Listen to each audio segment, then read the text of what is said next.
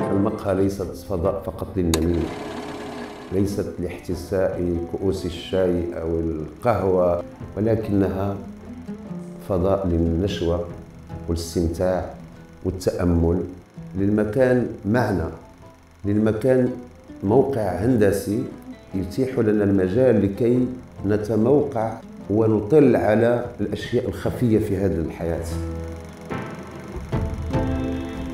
L'hôtel Balima a ouvert ses portes depuis le 1er octobre 1932. Donc c'est un hôtel qui a été fondé par trois familles françaises qui s'appelaient dans le temps la famille Bardi, Liorel et Mathias. Et c'est de là justement que vient la dénomination de Balima.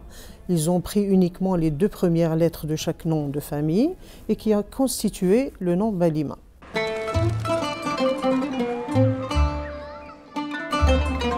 الرباط في الحقيقة لها أماكن ممكن أن نقول بأنها هي عبارة عن ذاكرة من بين هذه الأماكن التي تعد فعلا ذاكرة للرباط ذاكرة للعاصمة هي مقهى بالينا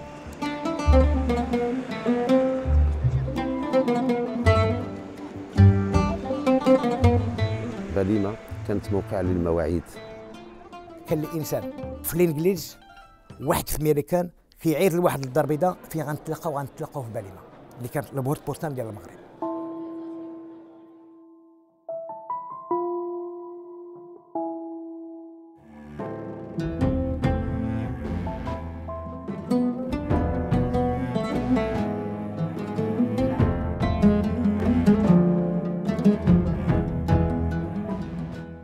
الانسان ملي كيبغي يدخل لباليما بحال بغى يدخل لواحد الاستوديو. كيقاد حالته وكيدخل. بحال دخل الاستوديو. كانت متميزه باليما كان مقهى مفتوح على الشارع. يعني كان الغرض في الجلوس في باليما بصراحة أن نتأمل الغادين الرائحين والرائحات وهم أيضا يتأملوا الناس الجالسين تحت تلك الأشجار الظليلة. المخضرة. فكان عبارة عن مقهى أقرب ما يكون إلى المسرح مسرح حياة. هذه المقهى التي تعتبر قلب الرباط والرباط هو قلب المغرب. لو تكلمت وقالت لنا أي الرجال كانوا هنا ما الذي تم من قرارات ومن تفاعل فكري ومن تناقضات سياسية ومن سجال كلامي بين الصحفيين والمبدعين والمفكرين؟ لاستطعنا أن نخرج بعشرات المجلدات.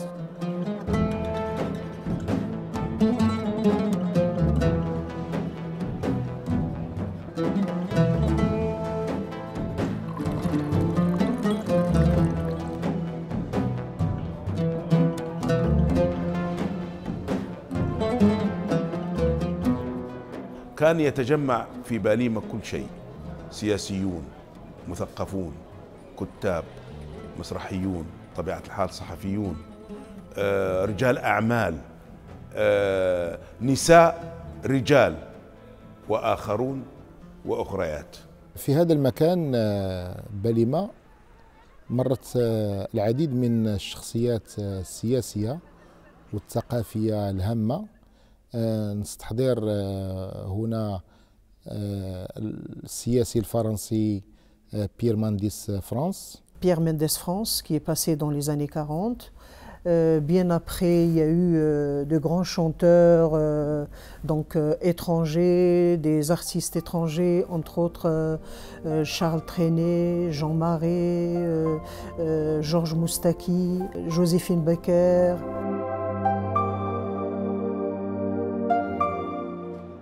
Bien entendu, moi, je ne suis pas là depuis l'ouverture de l'hôtel, mais euh, il y a un livre d'or euh, dont on est très très fier et qui, euh, qui justifie le passage de certaines personnalités.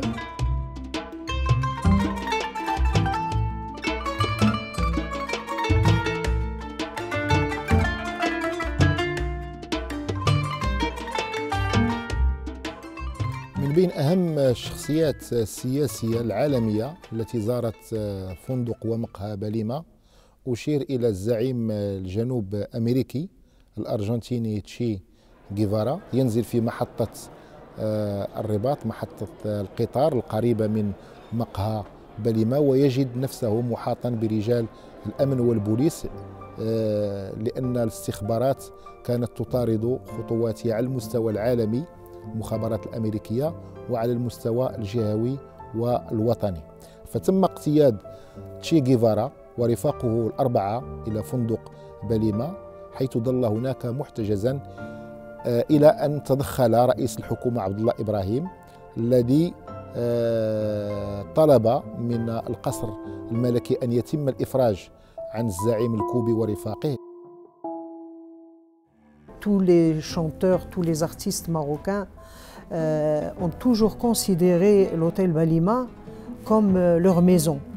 L'hôtel Balima se trouve à proximité du Théâtre national Mohamed V, du ministère de la Culture, euh, il est en plein centre donc, de la capitale et c'était plus facile pour eux de se retrouver, de, se dire tout simplement, avant il y a quelques années, il y a 30 ans ou 40 ans, on n'avait pas les moyens d'aujourd'hui tels que les portables et autres. Donc euh, c'était facile de, passer un petit coup de téléphone et de dire on se retrouve à la terrasse de l'hôtel. Euh. salon,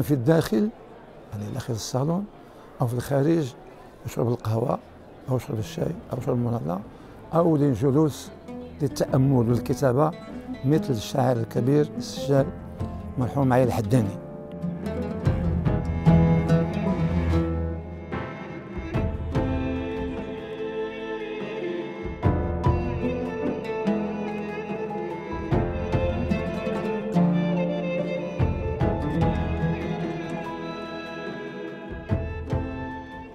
ها هو المكان مكان بليمة الذي حل به جيفارا في أواخر الخمسينيات بدعوة من المغرب. يأتي إليه شاعر كبير هو أحمد فؤاد نجم سنة 2008 بدعوة من وزارة الثقافة المغربية. سيقيم في نفس الفندق وفي غرفة قريبة من الغرفة التي كان محتجزا فيها تشي جيفارا. هو الذي كتب أغنية جميلة لحنها الشيخ إمام وغناها الشباب العرب المتحمس من المحيط إلى الخليج. أعني بذلك أغنية جيفارا مات. جيفارا مات جيفارا مات. آخر خبر في الراديوهات وفي الكنائس فهذه هي الفضاءات اللي كانت كتعمر باليما. فنانون سينمائيون مسرحيون صحفيون. أذكر أيضا سلطان باليما. هذه الظاهرة الذي قيل عنه الكثير. رجل المتعة والمقالب رجل كله في شكله وفي علاقاته وفي ملابساته وفي مغرباته أيضا.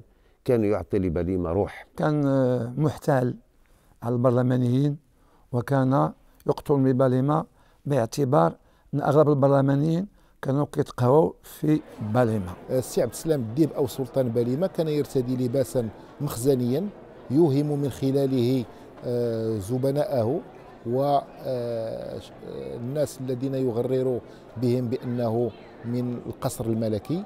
بأن له علاقات وبأن يمكنه أن يتدخل إما لإطلاق سجين أو للاستفادة من أرض أو للاستفادة من مأدونية السلطان الباليمة كان صاحبي كان كيجلس عندنا تنهضر معاه وتيهضر معايا. وكنضحكوا ولكن التعامل هو كيفاش يخدم وكيفاش يهضر مع الناس وكيفاش سميتو ما, ما تتدخلش فيه معاه من أشهر الحكايات التي ترتبط بسلطان البليمة أنه استطاع مرة ان يقنع فرنسيا بشراء مدافع قصبة لودايا Il a marqué l'histoire, peut-être pas d'une façon très glorieuse, mais il a quand même marqué l'histoire. Il a marqué les esprits. Il s'est fait passer pour Sultan Balima dans des moments de gloire et dans les moments de déchéance jusqu'à sa mort.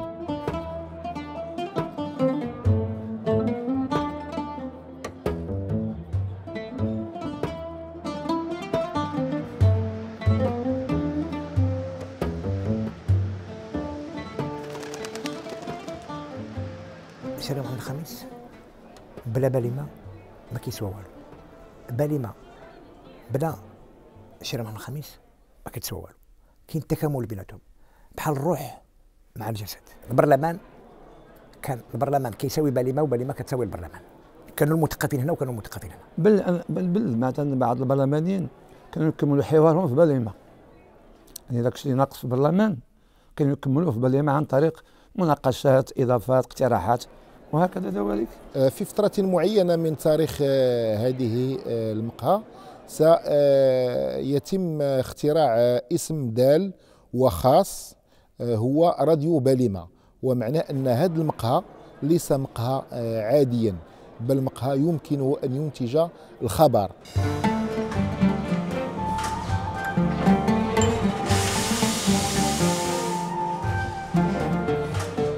فيه عدد من الأمور. الأشجار الظليلة جدا والمخضرة في واجهة المقهى. النوادي أو الندل اللي هي جمع نادل الذين كانوا يرتدون الوزرات البيضاء. أنا جيت القوى ديال باليمه في الآخر ديال 69 وخدمت صغير كبرت شوية وليت آه، نادير. باليمه بحال داري الثانية كبرت فيها. مقهى بليمة آه، حاولت أن آه، تفرض نوعا من الاستقرار بحيث النادر يعرف زبونه مثقفان أو شاعران أو مسرحيان يعرف نوعية المشروب الذي يطلبه يهب إلى خدمته بطريقة حسنة.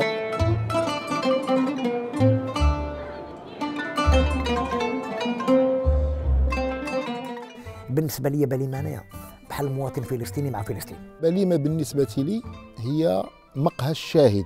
أنا كان لدي قصتي حب بهذا المعنى آه، في باليمة. التقينا بالصدفة في باليمة على فنجان قهوة فتحولت إلى فنجان للحياة. وبليمة استطاعت عبر هذه السنوات التي راكمت فيها العديد من الرواد الذين كانوا يأتونها يوميا بشكل منتظم استطاعت Il y a pire que l'hôtel Balima, plus merveilleux que l'hôtel Balima, mais il n'y a pas comme l'hôtel Balima, il est particulier. Balima,